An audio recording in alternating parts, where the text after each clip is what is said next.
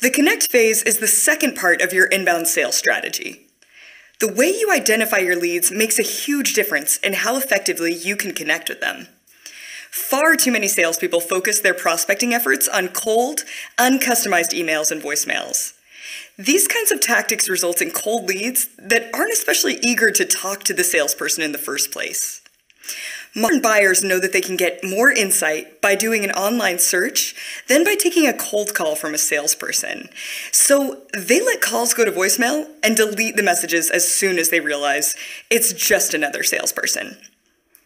As an inbound salesperson, you'll reach out to buyers in a different way.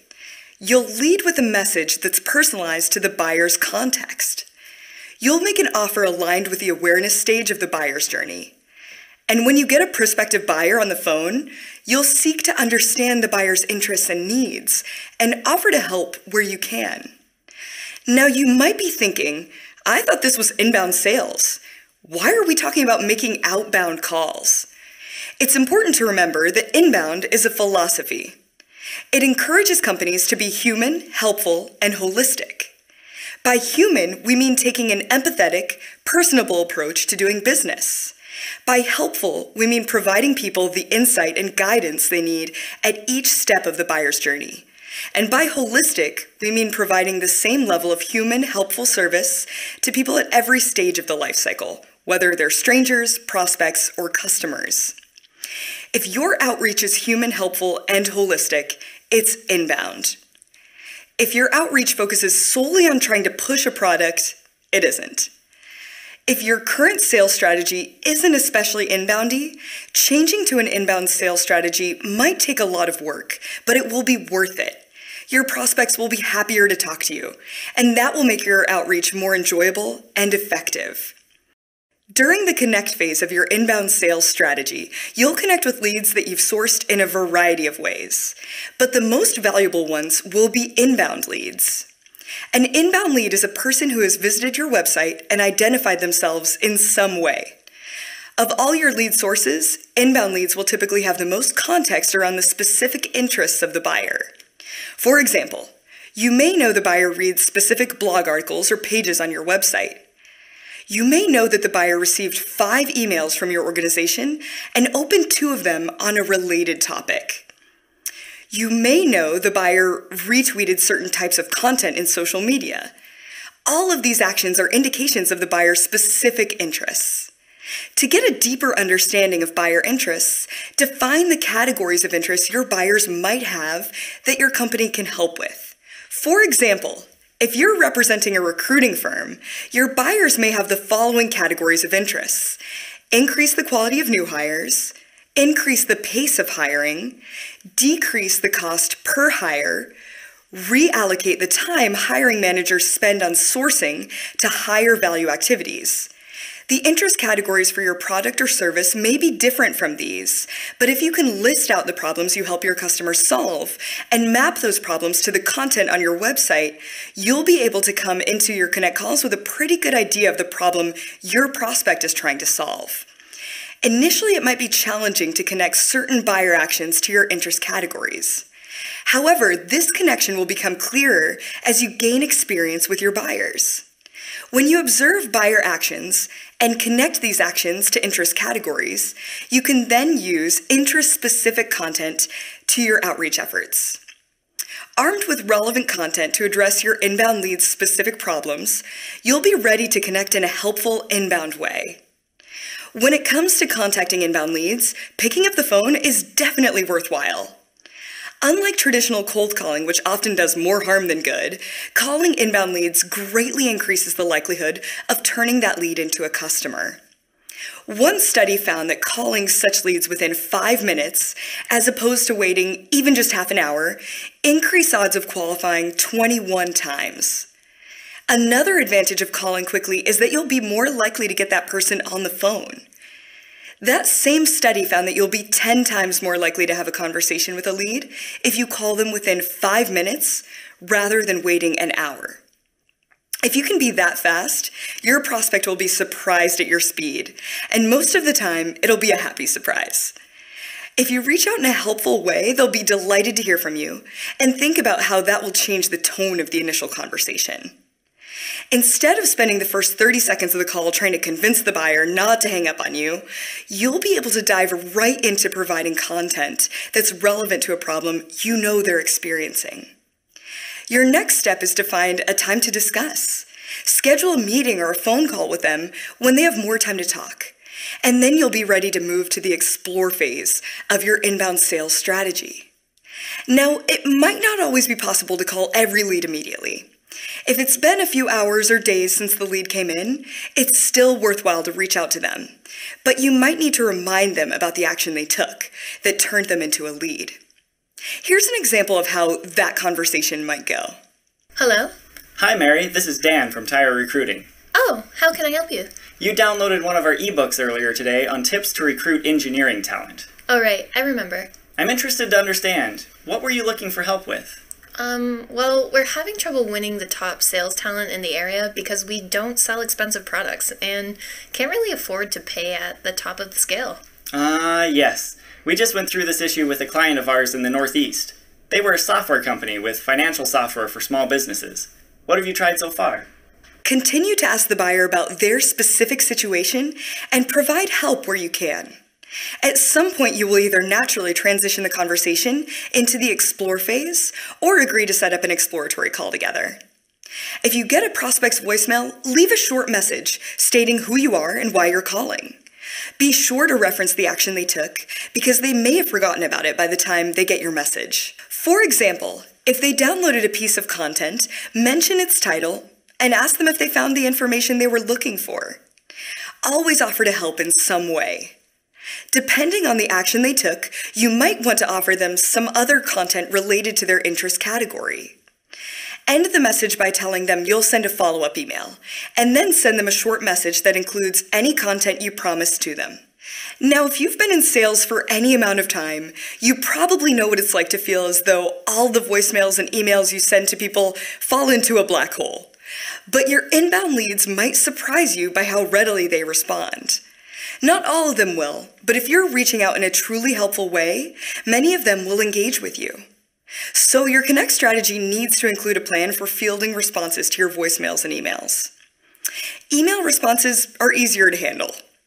The buyer's response is an indication that the buyer believes you can help them with a priority, goal, or challenge. Schedule a meeting or phone call when you can dig into their needs, and then you'll have successfully navigated to the explore phase of your inbound sales strategy. If an inbound lead calls you in a response to a voicemail you left them, use that as an opportunity to launch into a connect call, like the one we discussed earlier. The only difference will be that they'll know who you are because of the information you left in your message, so you'll be able to jump straight into scheduling an exploratory call. Now, if you're in business to business sales, there's another scenario you might find yourself in when it comes to contacting inbound leads contacting anonymous leads. If you're calling a company that has shown interest in your offerings, but that you don't have a specific contact at, you need to focus on the content the people there will have shown interest in. For example, Hello? Hi, Mary. This is Dan from Tire Recruiting. Okay. We have received a few inquiries from people at your company for information on increasing hiring quality. Really? From who? That's what I was hoping you could help me with. They didn't leave their name. Is there someone in your organization that might be focused on that issue? Maybe Bob in recruiting. Do you know why he would be looking for information on sales hiring quality? We've had some issues there. Issues? Similar to the inbound lead situation, continue to ask the buyer about their specific situation. Provide help where you can, and transition to the explore phase, either on this call or during a follow up call. Now, not every inbound lead you contact will be ready to move to the explore phase, and that's okay. Position yourself as an advisor that they can rely on for helpful information, and then share content with them from time to time to maintain that relationship. They'll come around eventually. To sum up, inbound leads are your most valuable leads. Connect with them as quickly as possible by reaching out with content related to their interests. From there, it should be smooth sailing to the explore phase on your inbound sales strategy.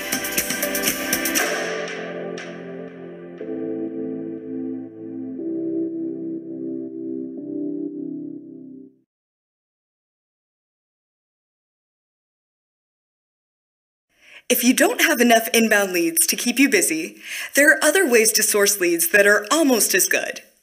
One of these is watching for trigger events, and the other is leveraging common connections. Let's start with trigger events. What is a trigger event? A trigger event is anything that indicates that you could provide immediate value to someone. These might be things like press releases, news articles, or social media mentions or hashtags. You should be watching multiple communication channels for any mention of something you can help with. For example, if you work for a recruiting agency and a potential buyer publishes a job posting for a sales hire, that would be an indication that they might need your agency's help. The trigger events you should be watching for depend entirely on the solution you provide. But if you can identify a trigger event from a prospect that you know is a good fit for your offering, that's a great reason to reach out. When making connect calls that originate from trigger events, you should focus on the trigger event first and then explore whether the trigger event implies a goal or challenge you can help with. For example, Hello? Hi, Mary. This is Dan from Tire Recruiting. Okay. I just read your new job posting on the account executive position. Yes, you need to submit your resume to Bob in Recruiting. The email's on the job ad. Actually, I was not calling about applying to the job. I was calling because we published a popular ebook amongst your peers on writing job ads that attract sales rock stars. Based on those best practices, I had a few suggestions on the ad. Okay, what do you think? provide suggestions. Transition into what changes led to the trigger event and what they're most worried about with the process. Help where you can and transition to the explore phase when it's right. If you call and don't get the person on the phone, leave a voicemail referencing the trigger event and a helpful piece of content you'd like to share with them. Then send an email with the promised information. If they respond, provide help where you can and transition to the explore phase. Another great way to source leads is by leveraging common connections. A common connection is any person you and your prospect both know. It might be a friend or colleague or even a family member. Common connections are extremely effective during the connect phase because it elevates you from being a stranger to being an acquaintance. To use common connections, first define the categories of common connections. For example, one of your customers may refer a potential buyer. One of your fellow employees knows a potential buyer. An acquaintance outside of your organization knows a potential buyer. Your categories may be different, and that's okay. The important thing is to develop specific content for people in each category. Once you have that, start asking your connections to introduce you to your target prospect. If they aren't willing to make an introduction, ask them if you can use their name in your outreach. Either way, having a common connection will be invaluable during the connect phase. When you contact someone through a common connection, use the opening 30 seconds to mention the common connection and explain why they thought it was a good idea for you and your prospect to talk. Here's how that might sound. Hello? Hi, Mary. This is Dan from Tire Recruiting. What can I do for you? Kevin Harris over at XYZ Partners suggested I reach out to you. Oh, he did? Why? I was speaking to him about some of the success we have with recruiting salespeople. He mentioned you were struggling in that area the last time you spoke and suggested I reach out. Oh, okay. I remember that conversation. How is recruiting salespeople progressing? We're still struggling. On what aspect are you struggling specifically? And so on. If you can identify a need that you can help with, then you'll know it's time to transition to the explore phase of your inbound sales strategy. If you can't identify a need you can help with, don't push. Share any relevant content you might have and move on to another lead. If you get the person's voicemail, leave a message referencing your common connection and a helpful piece of content you'd like to share with them. Then send an email with the promised information. If they respond, provide help where you can, and transition to the explore phase when you've identified a need you can help with. To sum up, trigger events and common connections are both excellent tools for sourcing new leads. As you reach out to these leads, start the conversation with the event or connection that brought them to your attention, and then look for ways you can help. The purpose of the connect phase of your inbound strategy is to confirm that the prospect has a problem you can help with and to set up a time when you can explore that problem in depth. Typically, this can be accomplished in a single short conversation. There's just one problem. There's a pretty good chance that you won't be able to get the person on the phone the first time you call. Modern buyers are busy and they aren't eager to take calls from phone numbers they don't recognize. Similarly, some of the leads you connect with won't be ready to move to the explore phase. So there are three things you need to do. Keep finding helpful ways to reach out. Use technology to automate certain parts of your outreach and be ready to transition to the explore phase of your inbound sales strategy. Let's talk about each of these. First, you need to keep finding helpful ways to reach out to your prospect so they'll think of you when they're ready to make a move. The key word here is helpful. If you ever use the phrase just checking in, chances are you've run out of value you can add. One way to avoid that is to create a sequence of content you can share at regular intervals until a lead is ready to move forward. The most important consideration when you develop these sequences is to personalize each step of your outreach to the individual buyer. If you haven't created buyer personas yet, now's a great time to do it. A buyer persona is a semi fictional representation of your ideal customer based on real data about demographics, behavior patterns, motivations, and goals.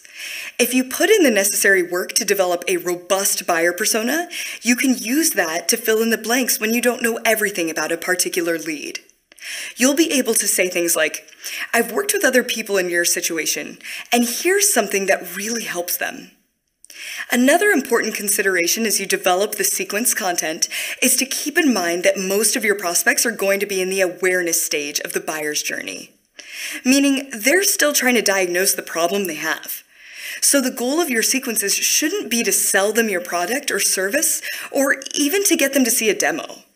Instead, your goal should be to build your credibility with your buyer so they'll trust your advice and want to spend more time with you. The best way to do that is to educate them on a goal or challenge they're currently facing.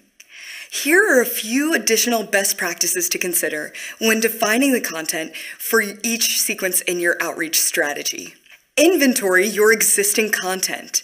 Review any blog articles, ebooks, webinars, presentations, or case studies that your company has developed. Also, check your sent items folder in your email. Typically, you'll find emails to prospects that will serve as excellent templates. Note any content that is particularly effective at addressing the unique perspectives of each persona that you documented while building your buyer personas. The gap in the content you find serve as a content roadmap for you in the future. For example, you may find that you have lots of content for a particular type of challenge or industry or buyer role. However, there are other important segments you do not have content for. Or you might have a lot of content that's too generic and not specific enough to different personas. In the future, you can target your content development to fill those gaps. Keep messages short. Voicemails should be less than 15 seconds. Emails should be less than 200 words. Reference the buyer at least twice as much as you mention yourself. This feedback applies to company mentions, personal mentions, the word I, and the word you. And all emails with a question. The question should be short and on a separate line. It should be focused on identifying a challenge or goal. For example, if you mention you've heard great things about their sales team, you should ask, How do you find such great salespeople? If you're asking for time, be explicit about how much you're looking for. For example, when do you have 15 minutes to speak? Focus on being helpful. Try to sound like a human who is trying to help a fellow human solve a problem, not a robot who's trying to make a sale. Personalize email subject lines. For emails specifically, the subject line is the most important element. It's the first impression your contacts get of your email. And if they don't like it, they won't open it. Figure out a way to express the goal you can help them with in three words or less. Try to keep it below 30 characters, because if your email gets opened on a mobile device, your subject line's going to get cut off at that point anyway. Use a personal voice and style. If you're using content that someone else at your company created, edit it to make it sound like it's coming from you. Following these best practices will greatly improve your success in connecting with your leads. A common question during this step is What if my company doesn't have much online content for me to share? If that's the situation you're in, there are two important things you should bear in mind. First, useful content doesn't have to be from your company. There's probably a lot of content by thought leaders, authors, executives, and non competitive firms in your space. If the content is high quality and aligned with your buyer's area of interest, share it. Your prospects are likely new to the goal or challenge you're helping them with. They don't have your depth of experience in this area. They'll appreciate your help finding high quality educational content that's relevant to their situation. The other thing to keep in mind is that a free consultation is a great way to personalize an offer directly to the buyer's area of interest. It might be a consultation with you or someone else at your company. Either way, if you can provide them a consultation that's relevant to their goals and challenges, they'll likely appreciate the help and you'll benefit by building trust and learning more about them. Once you know what content you want to share, you need to figure out what a strategy is for doing so. Ask yourself, which mediums will you use to reach out to each persona? Phone, email, in person, social media? When will you reach out? Before work, after work, during lunch? If you don't connect on the first outreach, when will you try again? Will you reach out the next day, two days later, a week?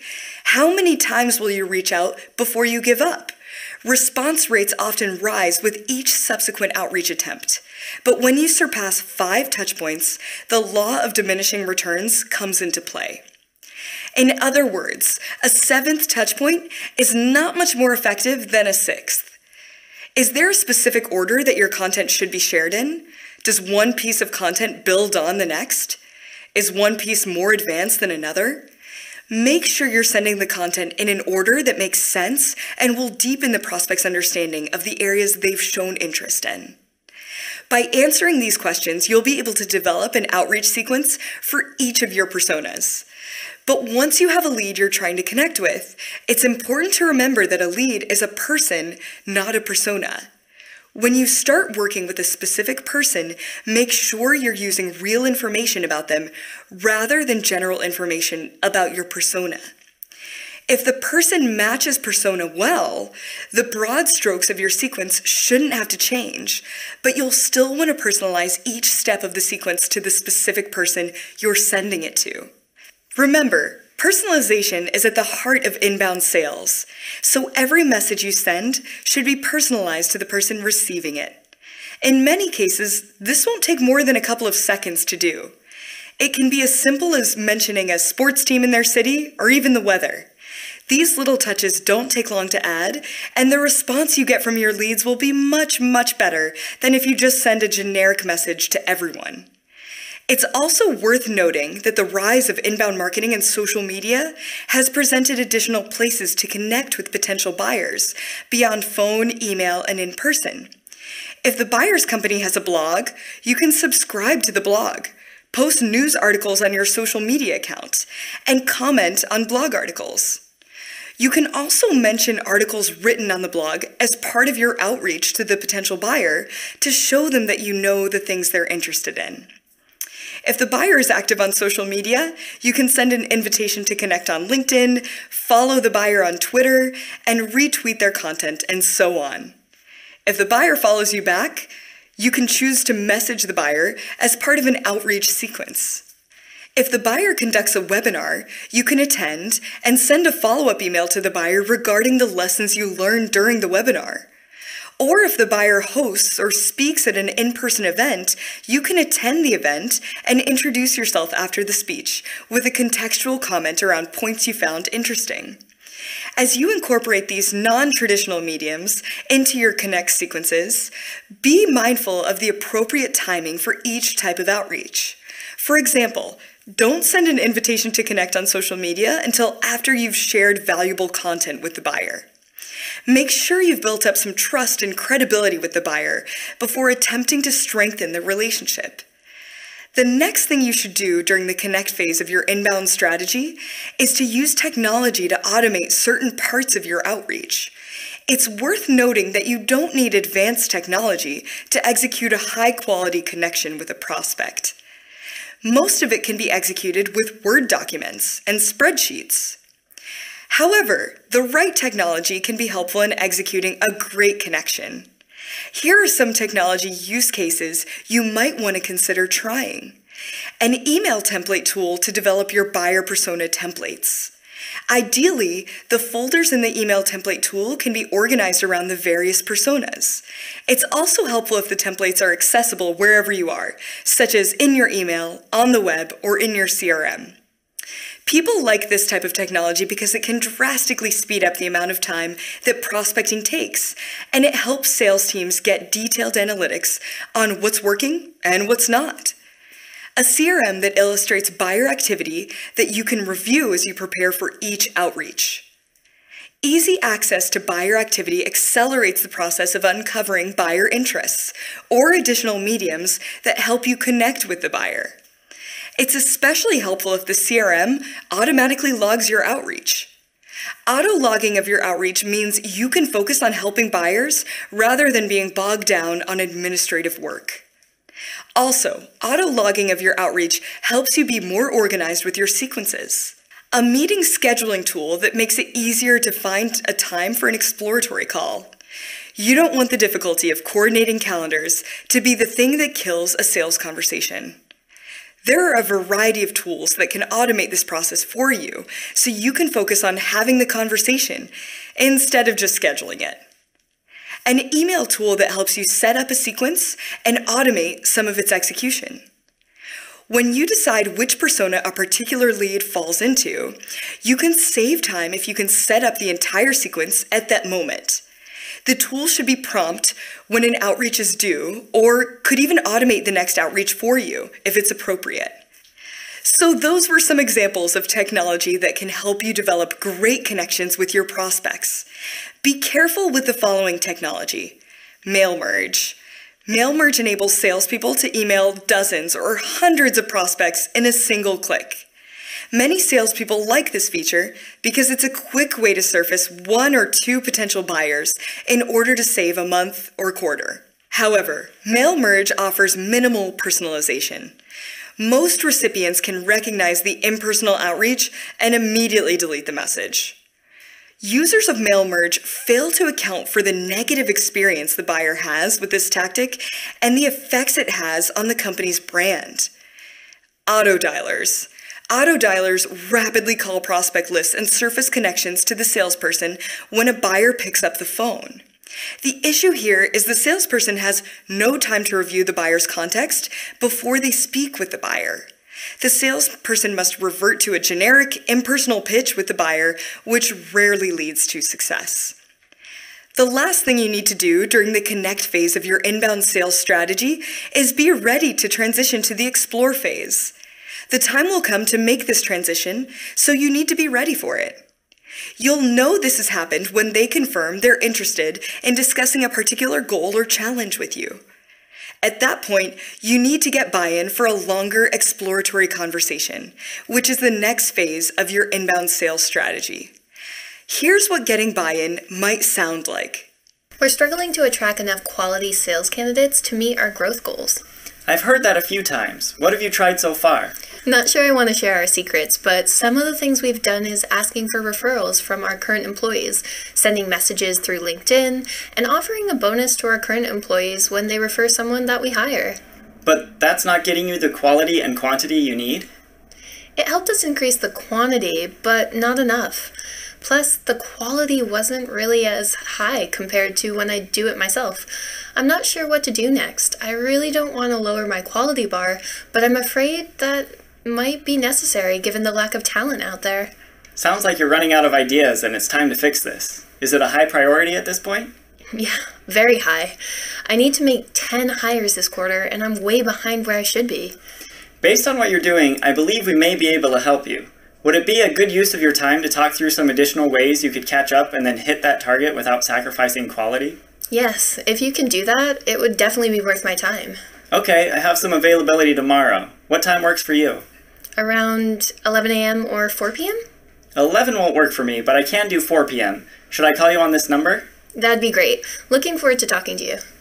To sum up, connecting with your leads might take multiple attempts, so you need to keep finding helpful ways to reach out. Use technology to automate certain parts of your outreach, and always be ready to transition to the explore phase of your inbound strategy. Throughout it all, focus on being helpful